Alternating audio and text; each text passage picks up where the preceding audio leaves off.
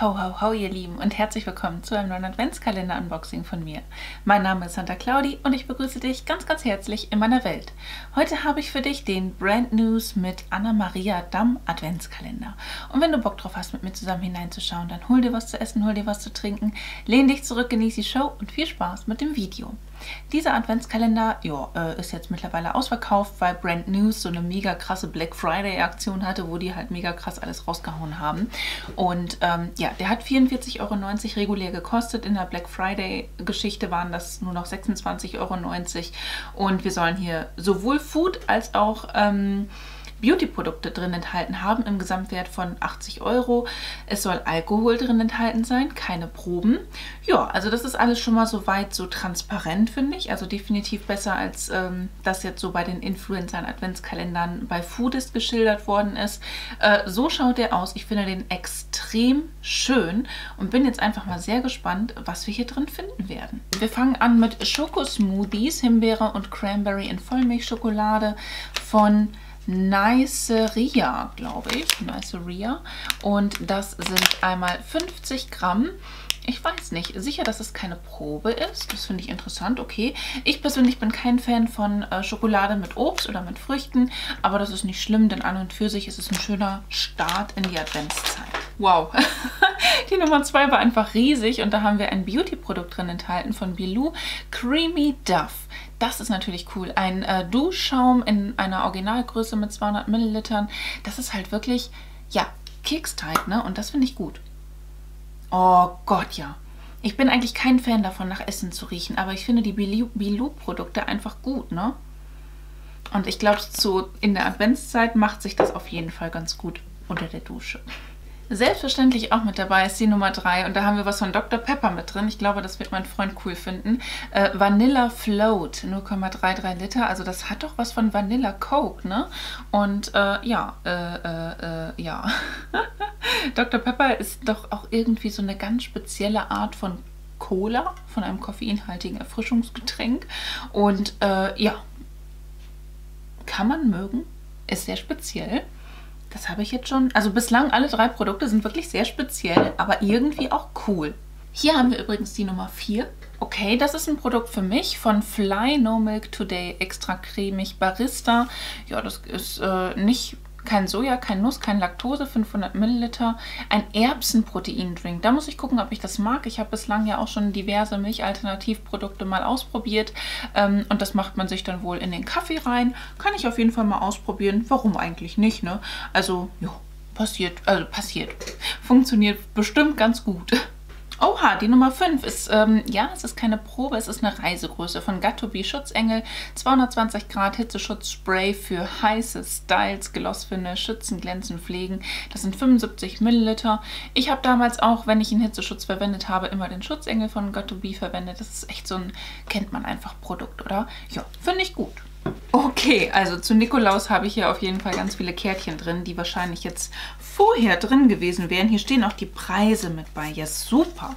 Okay, da habe ich aber jetzt mehr als das, was ich jetzt hier vor mir liegen habe. Das heißt, es ist jetzt gerade so ein bisschen Memory-mäßig, dass ich jetzt die Karten mal verteile. Mir fehlen auch noch ein paar.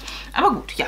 Ähm, hier habe ich äh, Kylie's Kappa Bubble Tea. Da meine ich, dass letztens eine Followerin mir auf äh, Instagram, da heiße ich übrigens Claudis Welt Unterstrich geschrieben hat, äh, Mensch Claudi, guck mal, das ist doch mega cool. Und da wollte ich eigentlich auch bestellen, weil ich habe noch nie in meinem Leben Bubble Tea getrunken.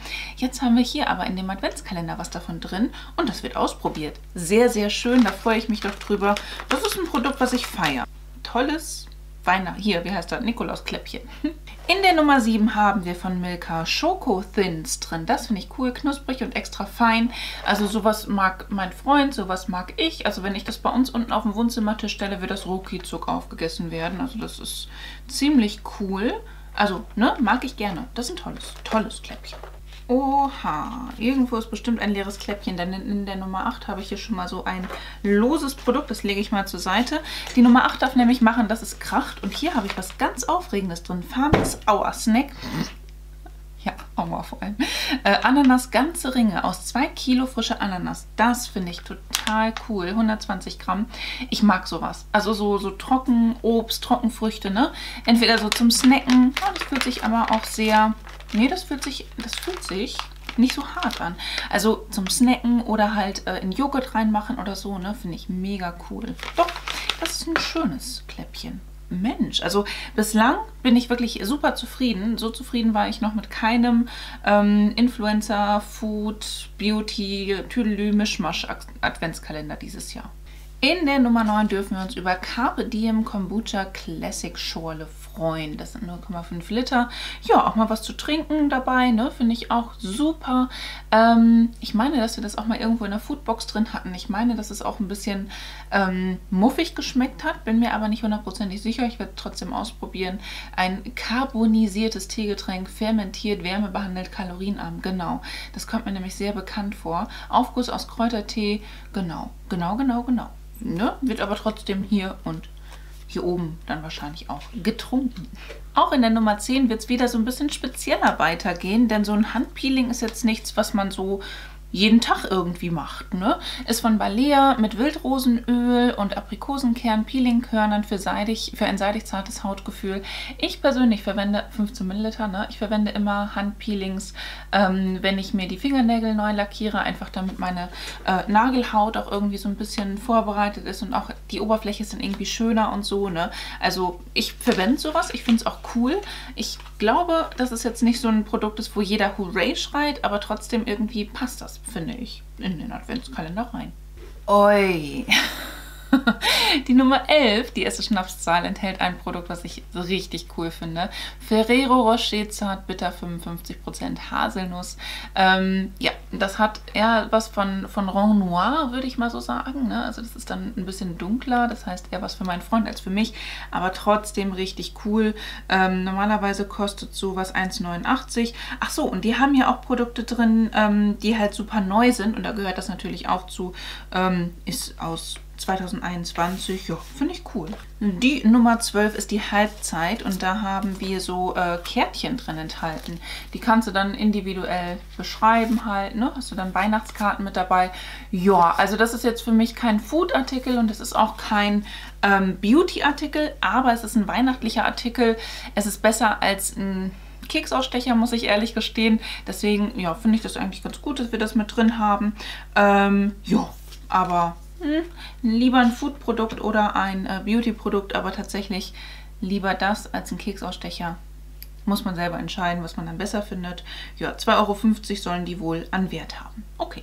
Oi, die Nummer 13, das sieht richtig toll aus. Belmanda, Edelmarzipan. Aber da hast du Salted Caramel mit drin und damit Schoko überzogen. Das ist cool. Sowas mag ich, ne? So ein schöner Riegel was heißt Riegel? Das ist ja im Prinzip mehr als nur ein Riegel. Das ist ja schon eine Süßigkeit. Aber ich finde das toll und äh, habe Bock drauf. Und ich mag auch wohl Marzipan. Ich bin jetzt nicht so der ultimative Marzipanesser. Also ich würde mir jetzt nicht bewusst im Laden so eine komplette Tafel Marzipan-Gedönsen holen. Ne? Aber wenn das so hier mit drin ist, mag ich das sehr, sehr gerne. In der Nummer 14 haben wir was Großes drin von Manna. Das sind diese äh, eher Neapolitaner-Schnitten. Ähm, Limette, Knusperino, 110 Gramm. Also wir fahren auf diese Manna-Schnitten ehrlich gesagt nicht ganz so ultimativ ab. Aber das ist nicht schlimm. Also die schmecken wohl okay. Ne? Ich finde jetzt auch dieses Limette passt für mich persönlich eher so in Richtung Sommer und nicht so Richtung Weihnachten. Aber das muss jeder für sich entscheiden. Und ja, ist jetzt nicht so mein ultimatives Wow-Produkt. So, die Nummer 15 ist jetzt leer. Äh, da wird dann wohl dieses Notizheft drin enthalten gewesen sein. Das ist ja so ein, so ein Blanko-Heftchen. Ne? Da kannst du einfach was reinschreiben. Hast ja auch eine Bucketlist, also eine Löffelliste oder eine To-Do-Liste vielmehr. Ja, also ich arbeite immer mal wieder mit so Heftchen oder so. Wobei mir das jetzt ein bisschen zu klein wäre, um ehrlich zu sein. Aber na, gut. Haben wir auch noch Schreibwaren hier mit drin. Also da hatten wir jetzt ja schon die Postkarten und jetzt auch noch relativ schnell aufeinanderfolgend dann dieses Notizheft. Also es war jetzt eher beschrieben als Food- und Beauty-Adventskalender. Aber gut, wir schauen mal weiter. Okay, die Nummer 16 wollte hier schon irgendwie rausfallen. Ähm, und zwar von Shea Schoko Vanille. Lecker. Ähm, haben wir hier einfach so einen Riegel mit drin. Sowas mag ich für den kleinen Hunger zwischendurch immer ganz gerne. Nüsse sind ja auch in dem Sinne sehr energiegebend und auch sehr gesund. Mag ich gerne. Okay, dieses Nice Ria äh, begleitet uns wohl ein bisschen häufiger in diesem Adventskalender. Hier haben wir Schokoseeds, geröstete, geröstete Kürbiskerne, umhüllt von Zartbitterschokolade. Oh, sowas mag ich gerne, das schmeckt ganz gut. Ähm, 40 Gramm sind hier drin enthalten. Also ich kenne jetzt Nice Ria, ehrlich gesagt, so von der Marke her nicht so wirklich. Ich habe das auch noch nie so bei uns im äh, Supermarkt gesehen. Das ist jetzt schon das zweite Produkt von der Marke. Ähm, ja, interessant. Werde ich auf jeden Fall mal ausprobieren. Ne? Cool. Oh ja, Leute, die Nummer 18 enthält etwas. Herzlich willkommen in der Weihnachtswoche, was ich so gerne mag. Das hatte ich auch schon mal in Boxen drin. Ich glaube, in der Degusta-Box war das mal drin. Ne? Ähm, Werthers Original Karamell Popcorn, das gönne ich mir heute Abend. No! das ist so ungesund und so lecker. Äh, 140 Gramm sind hier drin enthalten. Ja, es gibt tatsächlich auch noch dieses Karamell Popcorn mit Brezeln. Auch das ist super lecker. Das ist jetzt aber einfach das klassische Karamell Popcorn richtig, richtig lecker. Sowas, sowas, ja, das mag ich gerne. Ne? Und das erwarte ich auch irgendwie in solchen Food-Adventskalendern. In der Nummer 19 haben wir iPads, also quasi wieder ein Beauty-Produkt. Das finde ich toll. Ich verwende gerne Augenpatches oder Pads. Äh, das sind von Beauty die äh, Beauty Boost Ceramid, Hyaluron und Zauberstrauch äh, Augenpads. Ich verwende super gerne morgens Augenpads, weil ja aktuell sind die Nächte halt bei mir sehr kurz. Dementsprechend, ne, kann ich mir das sehr gut gönnen. Schon wieder diese Marke. Niceria Crunchies Erdnüsse in Vollmilchschokolade mit gesalzenem Karamell. No. Ja, das ist meins. Ne? Die Nummer 20. Herzlich willkommen im 20er-Bereich. Das sieht sehr, sehr gut aus. 100 Gramm sind hier drin enthalten. Und ich bin halt ein Fan von Nüssen. Es ist einfach so. Und jetzt so in der Adventszeit ist es natürlich auch nochmal umso präsenter mit den ganzen Nüssen. Die Nummer 21 enthält äh, Organics by Red Bull Black Orange 10G and Net Tenji, okay, and Natural. Das ist ein, äh, ja, äh, äh, äh, was ist das? Ein Bio-Erfrischungsgetränk mit natürlichen Aromen aus Pflanzenextrakten, kohlensäurehaltig. Ja, okay, ich weiß jetzt nicht. Ist es dann so ähnlich wie eine Fanta? Weil es gibt ja auch dieses Bio, äh, dieses äh, Red Bull Organics, ähm, was dann quasi so ein bisschen Richtung ähm, Cola gehen soll keine Ahnung, muss ich auf jeden Fall mal ausprobieren. Scheint auch kein Alkohol drin enthalten zu sein, dementsprechend kann ich das ja auch trinken. Ne? Schön. Das war die 21 und jetzt kommen wir zur 22 und das, äh, also imponiert mir gerade, dass es heile geblieben ist, weil da war kein Füllmaterial drin und ansonsten ist ja wirklich gefühlt alles da drin durch die Gegend geflogen. Von Sante Naturkosmetics habe ich hier nämlich äh, Mineral Blush mit äh, organisch, organischem Acai-Öl drin enthalten. In der Farbe 01 Mellow Peach. Das ist eine ganz, ganz tolle Farbe. Ähm, da ist auch noch so ein Flyer mit drin gewesen, der in einem anderen Kläppchen drin war. ähm, der sagt, man hätte auch noch eine andere Farbe haben können. So einen ähm, ja, sechsgeteilten Blush, den ich glaube ich sogar schon habe. Deswegen freue ich mich darüber. Finde ich gut. Und ja, den kann ich dann auch mal ausprobieren. Ne? Klasse. So, jetzt sind wir hier schon am Tag vor Heiligabend bei der Nummer 23 angelangt und das ist ein ganz tolles Produkt und zwar Le Créateur de Biscuit. ähm, ja, richtig lecker. Knuspriger Zimtkeks. Äh, die kennt man ja halt so, wenn man ne, zum Kaffee dazu oder zum was auch immer. Richtig, richtig toll. 200 Gramm, also das ist auch eine Originalgröße. Das finde ich schön, kann man gut gebrauchen. Und die Weihnachtszeit ist ja auch, oder die Adventszeit ist ja auch die Zeit, wo man dann ja auch immer wieder mehr so Besuch und so ein Kram bekommt. Das ist bei uns jetzt ein bisschen weniger, weil gerade etwas andere Situation, aber finde ich sehr schön. Ja, und jetzt gucke ich mal, was in der Nummer 24 drin ist. Also bislang hatten wir hier auch noch nicht irgendwie Alkohol oder sowas mit dabei, was ja auch quasi auf der Homepage angekündigt war, was ich ehrlich gesagt gut finde. Also jedenfalls glaube ich, dass hier nirgendwo Alkohol drin ist. Jetzt gucken wir mal in der Nummer 24. Okay, die habe ich letztens erst leer gemacht. Die finde ich klasse. Das ist ein Beauty-Produkt von Vella Fusion, Vella Professionals Fusion. Die ähm, Maske, Intense Repair Mask, 150 Milliliter. Die ist super die hat so ein richtiges frisch vom Friseur Duftgedönsen und äh, Gefühl tatsächlich auch hinterlassen. Finde ich schön. Ja, also Ne? Ich rieche da jetzt gerade nichts raus, aber ich weiß ja, wie sie riecht, weil ich sie gerade erst leer gemacht habe. Äh, richtig, richtig gutes 24. Produkt und somit haben wir dann auch hier, was? Wow, 30,50 Euro kosten 150 Milliliter. Das ist krass. okay, also dann habe ich hier nämlich mein äh, Quartett einmal auch voll gemacht. Da musste ich mir so ein bisschen die Sachen zusammensuchen.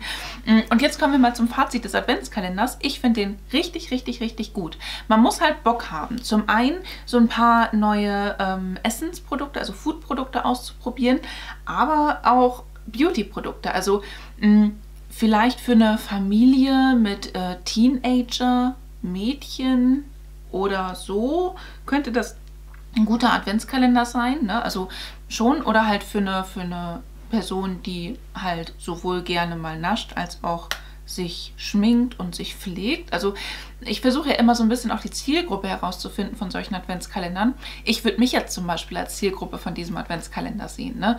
Also ja, weil ich das einfach cool finde. Nicht jedes Produkt mag ich, nicht jedes Pro Produkt gefällt mir. Das heißt, da ist vielleicht manchmal gar nicht so verkehrt, solche Adventskalender auch mit mehreren zusammen zu öffnen. Vielleicht irgendwo in, in einer Firma oder so kann ich mir auch vorstellen, dass das ganz witzig wäre. Ne? Aber gut, den kannst du jetzt eh nicht mehr kaufen, Claudinchen. Ja, aber trotzdem, vielleicht gibt es ja nächstes Jahr wieder so einen. ne?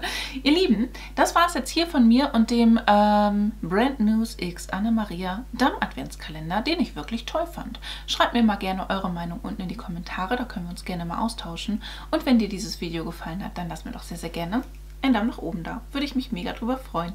Ansonsten wünsche ich dir einen wunderschönen Tag, einen wunderschönen Abend. Lass es dir ganz einfach gut gehen fühl dich ganz doll gedrückt von mir. ich verlinke dir mal hier oben meine Playlist mit den ganzen Unboxings der Adventskalender. Hier unten mein neuesten Upload. Auf dieser Seite noch ein Video von mir. Und hier oben kannst du, wenn du möchtest und es vielleicht noch nicht getan hast, mich sehr, sehr gerne einmal kostenlos abonnieren. Ich würde mich echt von Herzen drüber freuen. Lass es dir gut gehen und hoffentlich bis zum nächsten Mal. Ciao!